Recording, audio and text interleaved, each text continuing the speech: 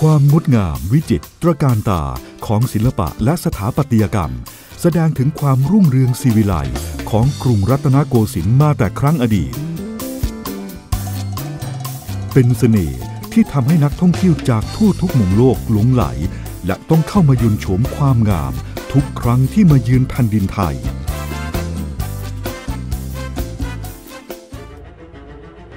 ทุกวันนี้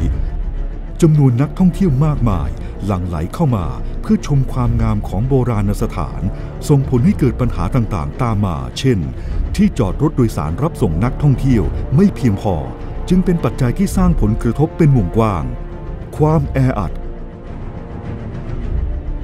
กีดขวางการจราจร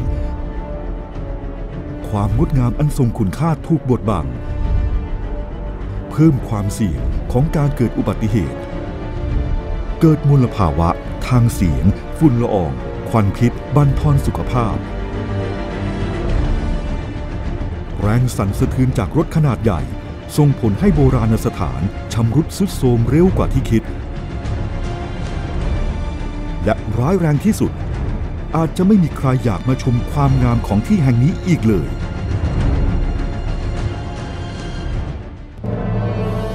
ปี 2558 ประเทศไทย ก้าวเข้าสู่การเป็นสมาชิกประชาคมเศรษฐกิจอาเซียน จะยิ่งส่งผลให้นักท่องเที่ยวลังไหลเข้ามาชมความงดงามของเกาะรัตนโกสินทร์มากขึ้นหลายเท่านำรายได้ให้กับประเทศอย่างมหาศาล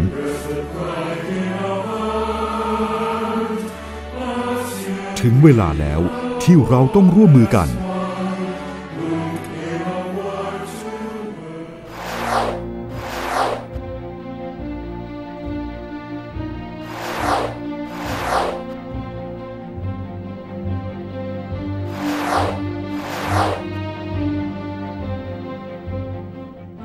กรุงเทพมหานคร ตระหนักถึงปัญหาที่เกิดขึ้น จึงได้ร่วมมือกับหลายภาคส่วนที่เกี่ยวข้อง เพื่อร่วมกันนำคุณค่าและความงดงามของเกาะรัตนโกสินทร์ให้กลับคืนมาอีกครั้ง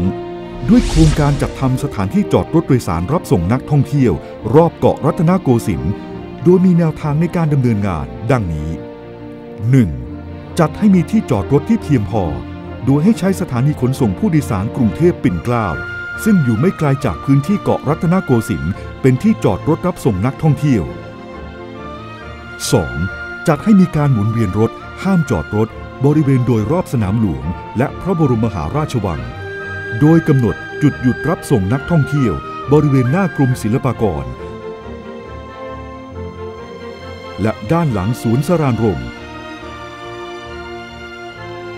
และกำหนดจุดจอดรถชั่วคราว บริเวณด้านหลังศาลฎีกา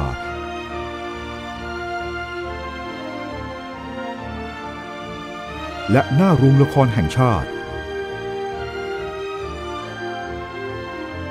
3. จัดให้มีระบบขนส่งจากจุดจอดรถไปยังพื้นที่เกาะรัตนโกสินทร์ทั้งทางรถรางและเรือโดยสาร เพื่ออำนวยความสะดวกแก่นักท่องเที่ยว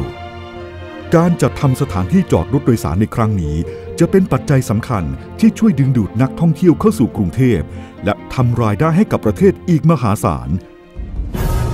ทุกความสำเร็จจะเกิดขึ้นได้ จากการร่วมมือกันอย่างบูรณาการของทุกภาคส่วน รวมพลังสร้างความพร้อม เพื่อร่วมอนุรักษ์เสน่ห์ของรัตนโกสินทร์สมบัติอันล้ำค่าของชาติ ให้อยู่คู่คนไทยตลอดไป